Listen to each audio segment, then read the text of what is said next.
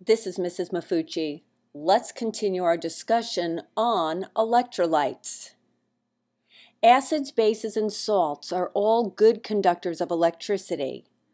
Well, let's consider now how ions form in acids. Remember, how ions are formed depends on the chemical bonding in the substance that is dissolving in water. Acids are held together by polar covalent bonding and produce ions in a process called ionization. Ionization is a two-step process. Step 1. The first step is when the hydrogen ion separates from the negative ions.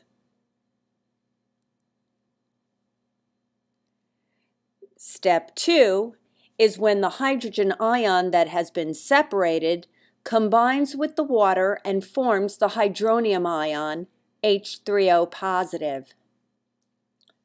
Let's consider two examples of acids that ionize in water.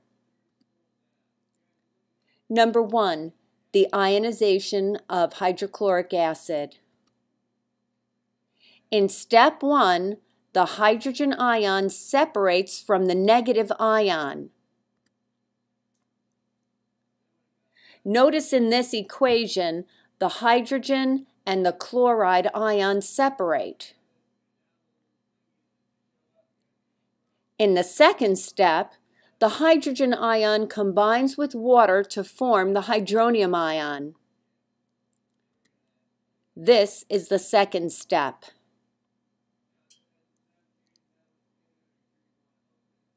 The overall equation is when you combined the reactants on the left side of the arrow with the products on the right side of the arrow. And you can cancel out the hydrogen ion that's found on both sides of the arrow. This gives us an overall equation of HCl plus H2O goes to H3O positive and Cl negative.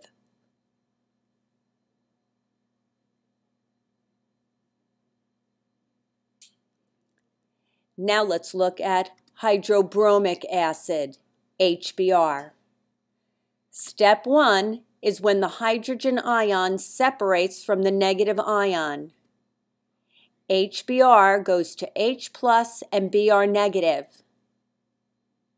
When you look at that equation, doesn't it look like it's just dissociation? So really the first step is just the dissociation of the ions. But then in the second step, the hydrogen ion that is released combines with water to form the hydronium ion. In order to come up with the overall equation, you combine the reactants on the left side of the arrow with the products on the right side of the arrow, and you can cancel out the hydrogen ion found on both sides of the arrow. This gives us an overall equation of HBr plus H2O goes to H3O positive and Br negative.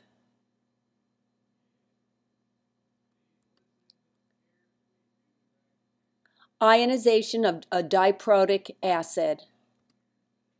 Diprotic acids have two hydrogens to release when they ionize in water.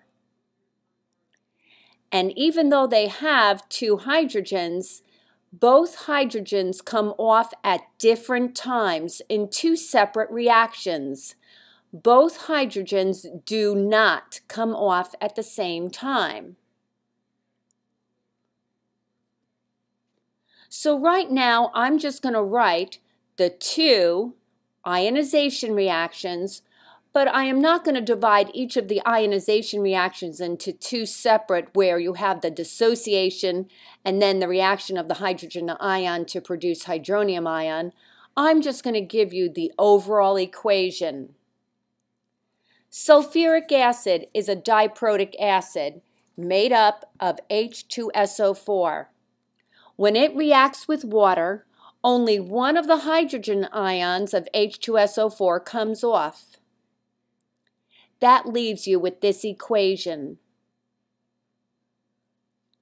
At another time, that HSO4 negative ion, that hydrogen sulfate ion, can also react with water in ionization to produce the hydronium ion and the sulfate ion. There are two separate reactions as each of the hydrogen ions come off at different times. Notice that the second equation is an equilibrium reaction.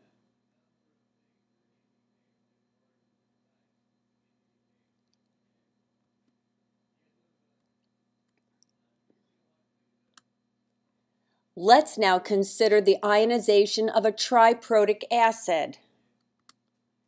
Triprotic acids have three hydrogens to release when they ionize in water. And again, it's important to recognize that the three hydrogens come off at different times in three separate reactions.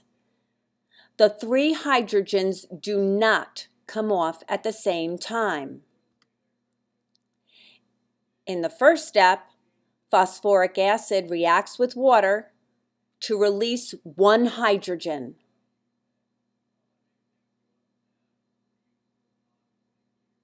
In the second step, that H2PO4 ion that was formed, that also reacts with water to form hydronium and the HPO4 2 negative ion.